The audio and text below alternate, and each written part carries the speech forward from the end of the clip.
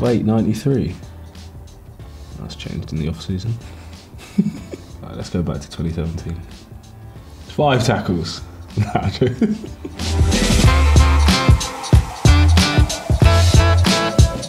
good to explain the positions as well, Yeah. clicking on the different positions so mm.